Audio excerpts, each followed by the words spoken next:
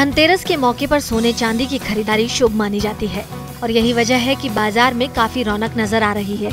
धनतेरस के शगुन के लिए कुबेर यंत्र की खरीदारी जमकर हो रही है। इसके साथ ही गहनों को लेकर भी लोगों में काफ़ी क्रेज है। Light weight jewellery with heavy look इसकी डिमांड ज़्यादा है। ट्रेडिशनल जाल वर्क और फिलगिरी वर्क के कान और गले के आभूषण भी महिलाओं को खूब पसंद आ रहे हैं। हाँ जी, धनतेरस पे गोल्ड की शॉपिंग करना शुभ माना जाता है।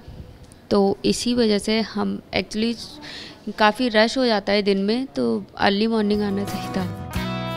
ग्राहकों की पसंद को देखते हुए दुकानदारों ने गोल्ड स्टड हैंगिंग डैंगलर्स झुमका पैटर्न हैंगिंग इयरिंग्स जैसे गहनों की काफ़ी वैरायटी डिस्प्ले की हुई है। अब गोल्ड इयरिंग एंटिक लुक में भी उपलब्ध है। हालाँकि इसके मेकिंग चार्जेस आम ज्वेलरी से थोड़े ज़्यादा हैं।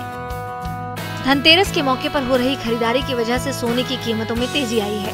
पिछले साल दिवाली के मौके पर सोने चांदी की सेल प्रतिदिन एक करोड़ से ज़्यादा थी। अभी तो शुरुआत है। इस बार कारोबार पिछले साल से ज़्यादा होने की उम्मीद है। ज़्यादातर धनतेरस पे तो लोग मोस्टली कॉइन्स ज़्यादा खरीदते हैं और कुछ लोगों को कुछ नीड होता है। अगर बैंगल वैंगल तो वो कुछ दिन पहले रुक जाते हैं क्योंकि धनतेरस पे खरीदना शुभ होता है। इसलिए वो चाहते हैं कि धनतेरस पे खरीदा जाए। धनतेरस के मौके पर चल रही खरीदारी में ज़्यादा डिमांड की बात करें तो सोने के सिक्के और सोने की चूड़ियाँ लोगों को काफ़ी भा रही है। वहीं उपहार देने वालों को फ्रेम लक्ष्मी गणेश जी सबसे ज़्यादा पसंद आ रहे हैं। यहाँ पर इटालियन डिज़ाइंस एंटीक गोल्ड में और पोल की वर्क में बेहतरीन वैरायटी है।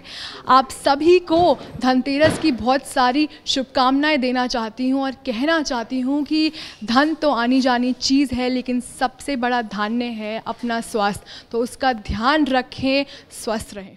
दिल्ली तक के वीडियोस को देखने के लिए चैनल सब्सक्राइब करें और बेल आइकन का बटन दबाएँ।